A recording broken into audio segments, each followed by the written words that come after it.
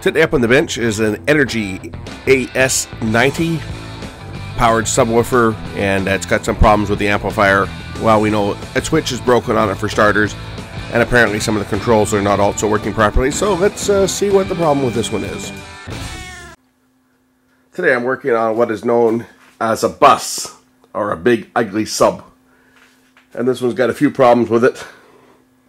One, the mode switch is snapped and there's some other issues with it as well. So let's address the switch problem first. Let's rip the amp out of the uh, box.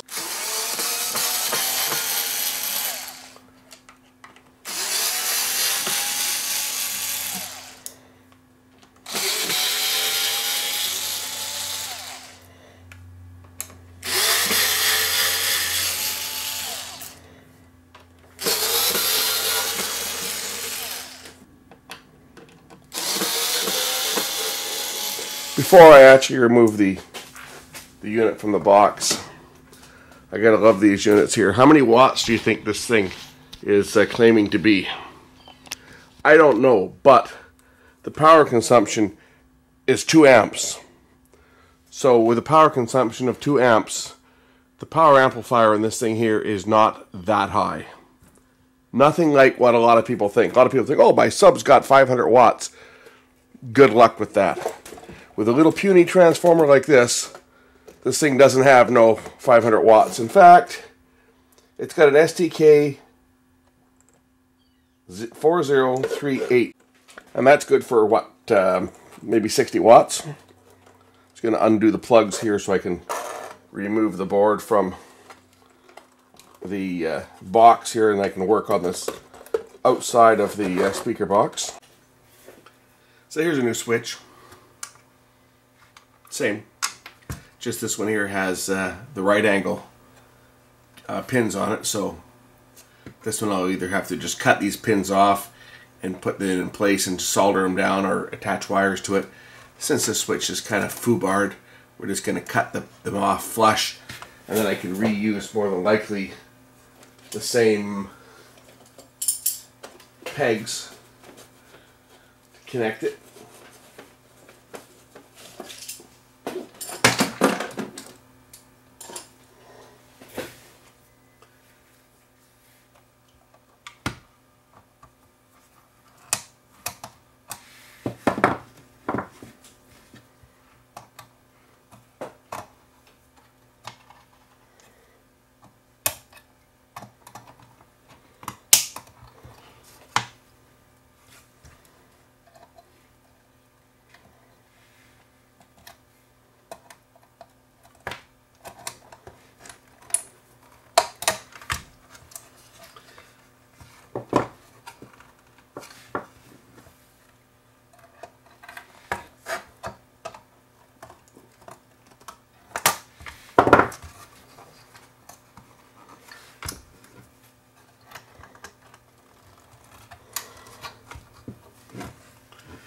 Now this other switch is not uh, does not appear to be fastened in in any way. It just was sitting in the board. So I should be able to just pop it straight through. For fear of getting lots of hates, I figured I would uh, not show you guys how I removed that switch. But I got a new one that will go in place of it. And it should fit in here. I got to remove this as well. It should fit into the uh, existing hole. And this one's held in place with a, uh, a nut so I can bolt it in place. I don't have to rely on using the circuit board to uh, support it like the old one. The old one was attached to the circuit board and uh, I guess the advantage to that is you could pull this back plane off and it would stay attached like this one here but not really necessary.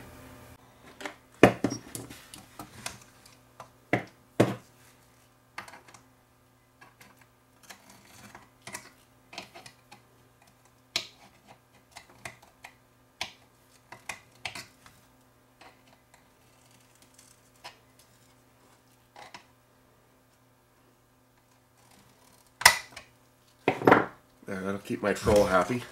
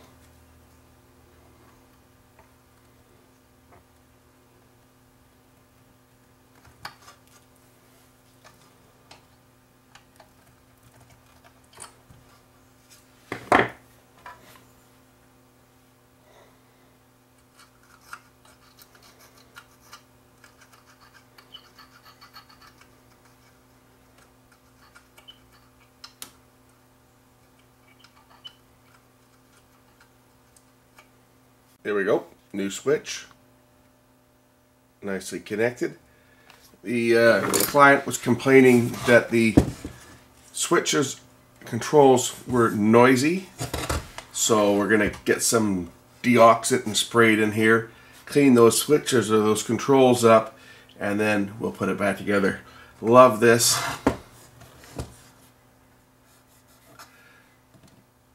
They don't want the competition knowing what $1.49 op amp they're using, so they sand the top off the chip. That was a common tactic. So I got my good old neutral contact cleaner. We'll spray this into the controls and rotate them a bit and then uh, we'll put the unit together and see what it does.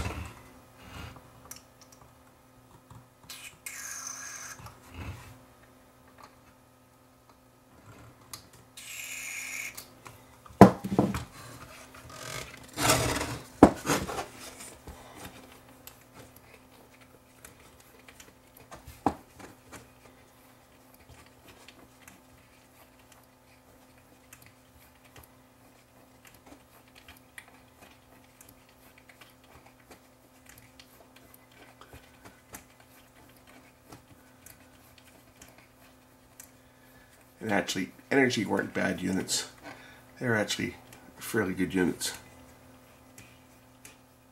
But, you know, they're expensive. There, there's a reason why Energy um, subwoofers and so forth cost more than some of the ones out there. It's because, look at the quality. Look at that printed circuit board. It's beautiful.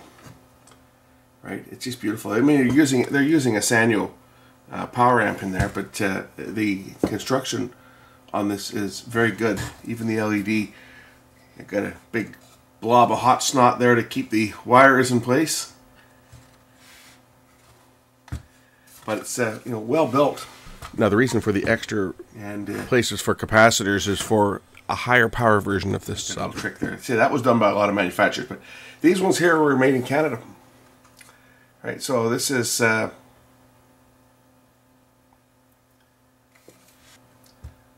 I have no fault of the circuitry on these, even though they do use a Sanyo power amp.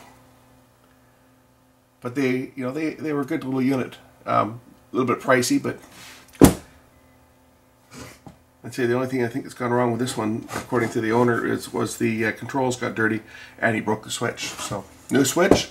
Let's get the box back up here and mount this.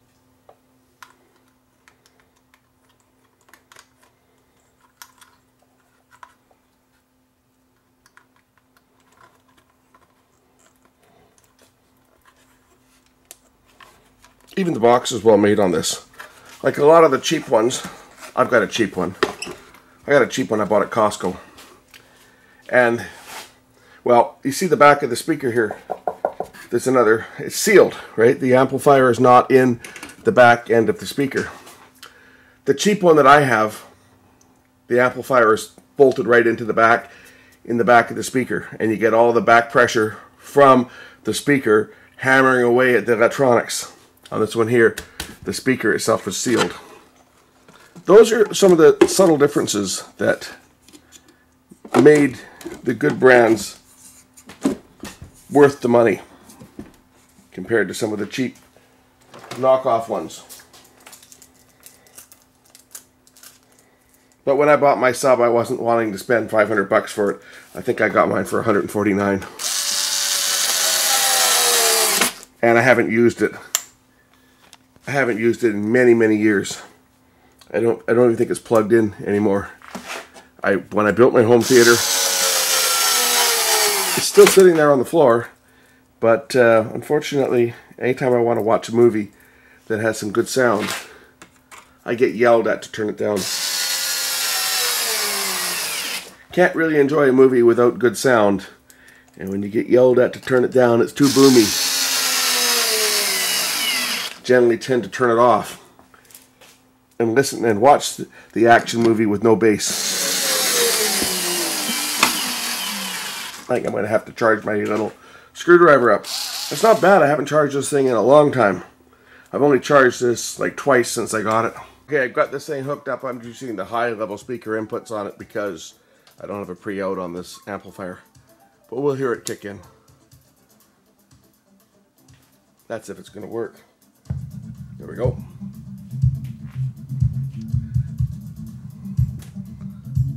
Yeah. That's why I don't really like subs because I I'm not a big sub fan, especially for music. This one's got a switch. Uh, apparently, it changes the way the equalizer works on it. But um, and we can change the low pass frequency.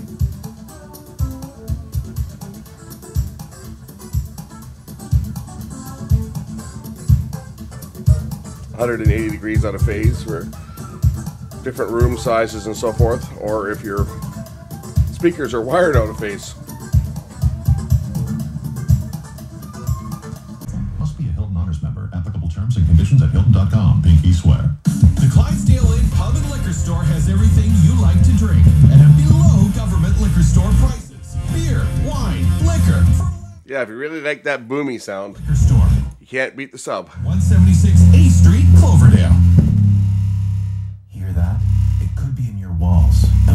I'm making things shake in the in the shop here. Serious health problems, lung diseases, and cancer. It's asbestos, a danger hiding in plain sight. If you're renovating a home built before 1990, as a homeowner, you need to talk to your contractor for asbestos testing and proper removal for the health and safety. A fair bit of air that moves out of the back of this thing. Learn more at thinkasbestos.com. A message from WorkSafe BC. There we go. This thing's fixed. Um, thanks for watching.